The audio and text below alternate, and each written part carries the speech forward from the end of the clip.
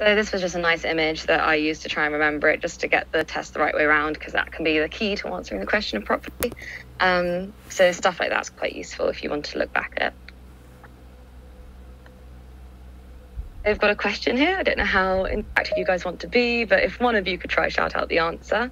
Um, you've got a 13 year old boy and he's got a painful right groin. He's previously had knee pain, um, which was found to be normal.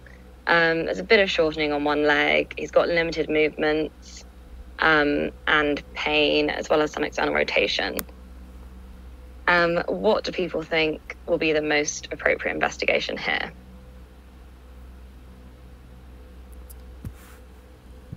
Is it a hip radiograph looking for a slipped upper femoral epiphysis?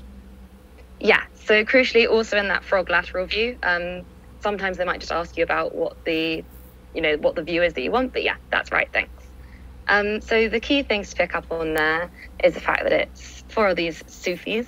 Um, it's the fact that it's an adolescent boy, um, and they'll often try and mention that you know he's obese and started trying to play sport again, or things like that. They don't tend to go the kind of you know bone disease metabolic route. Usually they keep you know that key kind of young adolescent boy bit bit overweight. Um, and also that internal rotation is quite a crucial kind of sign. Um, in terms of the imaging, you can see it's quite obvious that literally the top of the um, femoral head just seems to have slipped off. Um, it's usually quite classical on an image.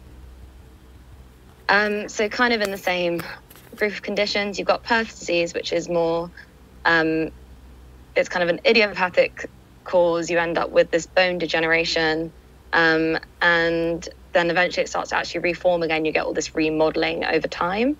Um, the age group for this is slightly different, even if the presentation is still with that kind of limp and painful hip and knee. Um, and the treatment there is surgical and again quite stereotypical um, radiographic images for that. Um, so it's good to be able to differentiate those two. Um, so one that's more of an emergency is septic arthritis. Um, they've got a nice little set of criteria here, but basically you're just saying, do they look like they have an infection, and is it related to the hip? Um, in those criteria, and basically, the more criteria you have, the more chance there is that it is septic arthritis. Um, you want to act really quickly here um, in getting on with those antibiotics, but it's quite important to remember to get any cultures before you give those antibiotics. That's something they can ask about with this. Um, so moving to kind of the other age end of the spectrum, um, you've got osteoarthritis of the hip. So it's just good to remember those four radiographic signs of osteoarthritis. You've got three on shown on the image here. The fourth one would be osteophyte formation. Um, otherwise, you know, the history and stuff is all there for you. Um, and yeah, it's another one that's good to pick up on the imaging if they were to give you any of that. So another question here, if someone can shout out the answer again. Um, you've got a 33-year-old footballer. He's got sudden right knee injury during a football game. Um, you can you internally rotate his foot and you notice a clicking feeling. What's the likely cause? Meniscal Yeah, exactly.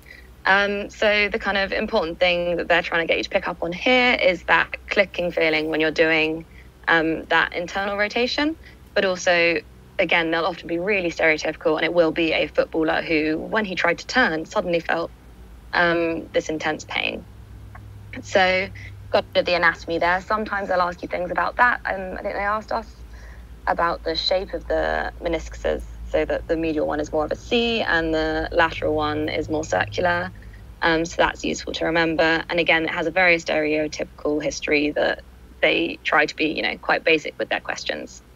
Um, in terms of treatment, the there's two kind of approaches. So you've got either you just resect the part that's kind of torn away, um, but if it's large, you might want to suture it to kind of preserve that cartilage because often you know, these people are quite young. Um, you don't want to be compromising that.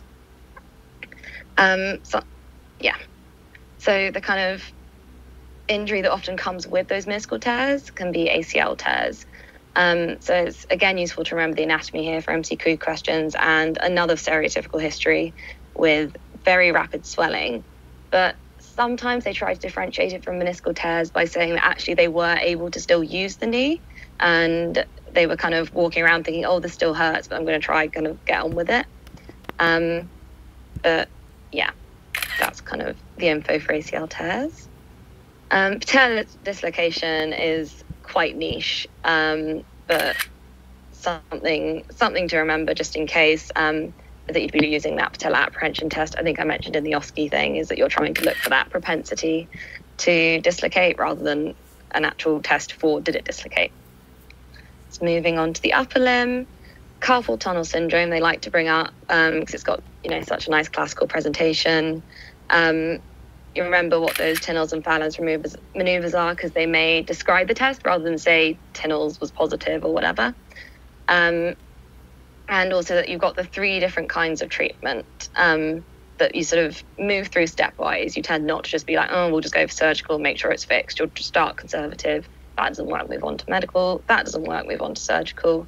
Um, another one that may be worth knowing that anatomy, knowing those nine tendons that go through the um, compartment, um, just because that's another sort of easy ortho question um, for them. Trigger finger um, is a bit niche. Often they'll ask um, what you're actually releasing if you do surgery, um, things about the timings, like um, when to actually move on to move on from conservative therapy. And again, this has a really typical history, so it's quite nice to just get that in your heads. Um, so frozen shoulder or adhesive capsulitis is when you get that kind of, as the diagram shows, thickening of the shoulder capsule that can make it really hard for um, specific movement. And this is another one where they'll give you hints with the kind of person that they talk about in their vignette. It will be a woman who is, you know, 50 something years old, 60 something years old.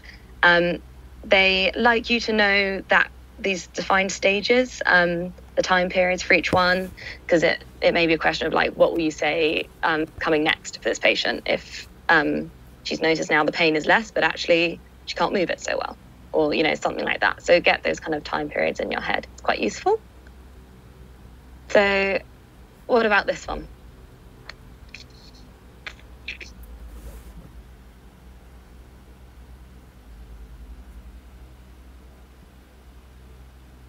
Is supraspinatus tendonitis? Yes, it is. So sometimes people are thrown off by the fact that it's this 54 year old woman who, like I've just said, um, classically adhesive capsulitis. But yeah, it's the supraspinatus tendonitis, so a kind of impingement from that tendon inflammation. Um, but it's good to remember that's not the only cause of impingement. You've got the calcifying form and osteoarthritis of that joint. Um, this is more of a kind of OSCE thing that will come up, but it doesn't mean they won't ask things like where's it most likely to be most painful. Um, and the age groups can be quite telling for who has these sorts of injuries. And so this bit's a little bit more useful again for the OSCE, um, but just knowing that that management um, has various different stages again, as with all the ortho stuff, ortho stuff, you've got conservative, getting a little bit more involved with steroid injections and then surgery if it's you know really not helpful. Um, but yes. And what often comes with those is rotator cuff tears. So just remembering those muscles um, but remembering the kind of likely cause based on the age. Um, so as an older older patient they've called older 40 but it may well be quite a bit older than that. It can just be due to degeneration and, and those muscles not being very well developed anymore. Whereas in younger patients, it's trauma from you know sporting injuries, as with a lot of these cases. Um, and then yeah, the kind of management in partial versus complete will often come up as a question. And that's the end of your kind of whistle to- whistle stop tour. Um, probably already overrun. Sorry. oh no, just about in time. Excellent. Um, do people have any questions or want to go back and look at any of the images, anything like that? Or I can let someone else get on with their presentation.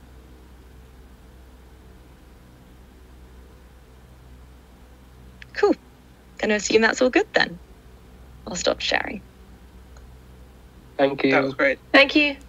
That's all right. Hey guys, um, Rob, I'm gonna turn my camera on just so you can see me. So, um, sorry about earlier. I literally just had my laptop on mute, so that was my bad. So, um, I am doing the ED presentation. So, let me just share my screen. Mm-mm.